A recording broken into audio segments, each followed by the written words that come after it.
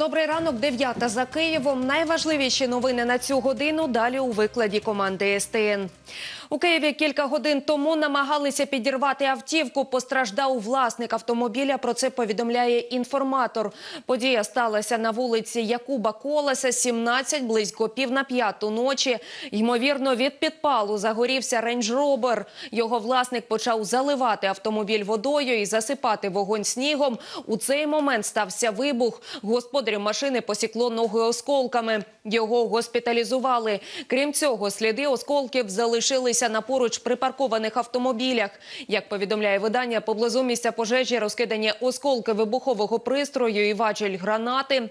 Цими вихідними потерпілий планував продати машину і зняв її з реєстрації. На місці події працювали правоохоронці та рятівники ДСНС. Причину та винуватця підпалу встановить слідство. Минулої доби в зоні АТО внаслідок ворожого вогню два українські захисники отримали поранення. Ще один наш військовий бойове травмування. Загалом бойовики російсько-окупаційних військ здійснили 57 обстрілів у бік сил АТО. На Луганському напрямку з гранатометів та стрілецької зброї противник обстрілював наші укріплення поблизу Артемового, а з великокаліберних кулеметів неподалік населеного пункту Луганське.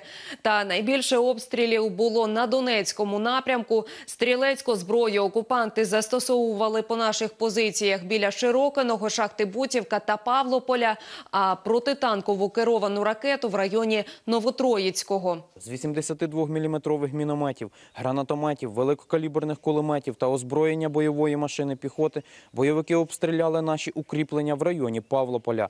Міномети калібру 82 мм. Окупанти застосували по захисниках Широкиного, а гранатомети різних типів і стрілецьку зброю поблизу Авдіївки, Водяного, Гнутового, Пісків, Опитного, Новотроїцького, Лебединського та Піщевика. Також під вогонь з великокаліберних кулеметів потрапили оборонці Талаківки, Кам'янки, Мар'їнки і Верхньоторецького, а з бойових машин піхоти Гнутового, Талаківки і Піщевика. Сьогодні з опівночі вступило в силу перемир'я, погоджене тристоронньою контактною групою на період великодніх свят. Однак незаконні збройні формування не припиняють вести вогонь по наших оборонних укріпленнях. Сьогодні вранці на Донецькому напрямку окупанти зі стрілецької зброї обстріляли українські позиції поблизу Авдіївки та Опитного. Соціальною карткою учасника АТО нині вже користуються 135 тисяч учасників операції та членів їхніх сімей. Про це повідомили у всеукраїнському об'єднанні учасників АТО Українці разом. Картка надає можливість отримати максимальні знижки або взагалі безкоштовно певні товари чи послуги.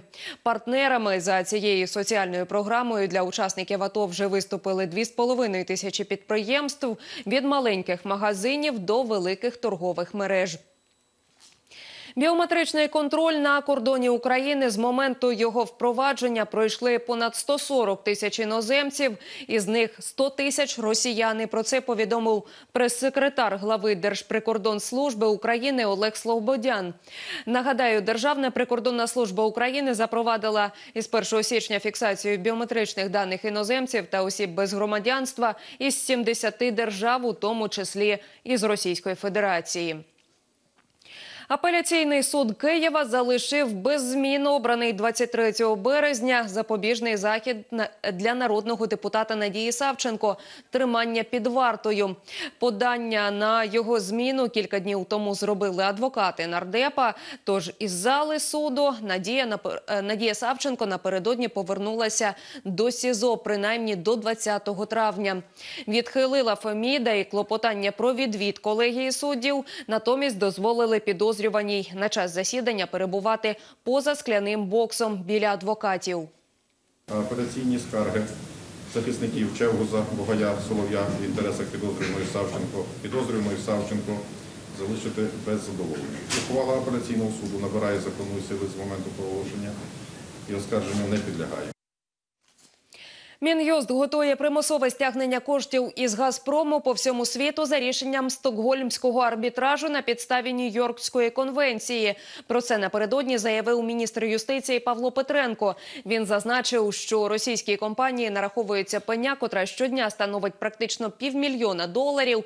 Наразі на підставі Нью-Йоркської конвенції з Газпрому можна стягнути ці кошти майже по всьому світу. І вже понад 100 мільйонів гривень надійшли до державного бюджету. Нагадаємо, 28 лютого Стокгольмський арбітражний суд задовольнив вимоги НАК «Нафтогаз України щодо компенсації за недопоставлення Газпромом обсяги для транзиту і зобов'язав російського монополіста виплатити 4 мільярди 630 мільйонів доларів. Тим часом президент Петро Порошенко підписав закон, який допоможе Україні наростити видобуток газу. Про це йдеться на сайті парламенту. Згідно із законом, для підприємств нафтогазового комплексу спростяться бюрократичні процедури для отримання права користування земельними ділянками. До цього період отримання усіх погоджень для відводу земельних ділянок у середньому тривав 4 роки. Процедура включала отримання 44 погоджень у 16 установах. Це ставало джерелом корупції та заважало поліпшенню інвестиційної привабливості. Сьогодні в Україні стартують масштабні перевірки пожежної безпеки. Про це напередодні йшлося на зустрічі прем'єр-міністра України Володимира Гройсмана з головою Державної прикордонної служби з надзвичайних ситуацій Миколою Чечоткіним. Голова уряду підкреслив, що перевірки не можуть бути інструментом тиску, натомість мають забезпечити безпеку громадян. Так, ДСНС проінспектує заклади масового скупчення людей, зокрема кінотеатри, торгові центри, школи і садочки на предмет виконання вимог безпеки, передусім пожежної. Під час перевірок додатково відбуватиметься тренування персоналу. Нам не треба ні штрафні санкції, нам треба безпека людей в цих закладах. І тому е, дуже важливо, щоб ви швидко працювали, давали свої рекомендації. І е, ці рекомендації мають представниками бізнесу виконані бути дуже швидко і якісно. І якщо хтось в гонитві за гривнею додатковою хоче захаращити свій заклад е, додатковими конструкціями, які обмежують план евакуації і так далі, з тими треба дуже жорстко е, потім е, поступати. Ми розпочинаємо роботу по всім і торгівельним центрам, і школам, і дитячим садкам, і іншим закладам з масовим перебуванням людей. І хочу вас попередити сказати це і представникам бізнесу, що до тих е, об'єктів, де будуть е, серйозні порушення, наша позиція буде безкомпромісна. Наші журналісти стежитимуть за перевірками і про їхні результати ми обов'язково вам повідомимо у випусках СТН. Сьогодні та завтра у столиці буде ма- наймасштабніше відключення води за всю історію Києва. У деяких правобережних районах столиці з 10 ранку п'ятниці до 7 ранку суботи частково обмежать водопостачання через роботи на насосній водопровідній станції Крутогірна. Там мінятимуть аварійну запірну арматуру, повідомляє Київводоканал. У компанії кажуть, що станція Крутогірна зведена 48 років тому і потребує заміни морально та технічно застарілого обладнання, подальша експлуатація якого могла б спричинити технічні ризики. Перелік масивів, які залишаться майже на добу без води, а також інтерактивну карту бюветів, щоб набрати води, можна знайти на сайтах Київводоканалу та КМДА. У чотирьох районах для забезпечення киян водою сьогодні також будуть чергувати п'ять автоцистерн із водою. Повинні вибачитись за ці незручності, але іншої ситуації, іншого виходу в нас немає.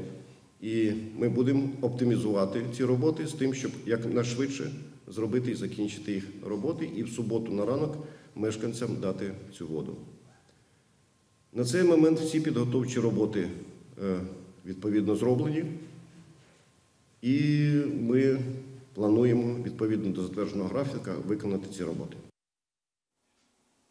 Видовищне шоу Французька весна в Україні, що заплановане на завтра, 31 березня, змінить рух автобусів та тролейбусів у столиці. Так, у суботу з 19 години і до завершення шоу автобуси номер 24 та 114 їздитимуть за схемою робочого дня через Хрещатик. Шостий тролейбус рухатиметься від мінського масиву до станції метро Лук'янівська, а тролейбуси номер 16 та 18 курсуватимуть від вулиць Щусєва та Сошенка до Повітрофлотського мосту. Рух транспорту на ділянці від вулиці Чорноволої до Майдану Незалежності за їхнім маршрутом буде закрито. Враховуйте ці зміни, плануючи поїздки.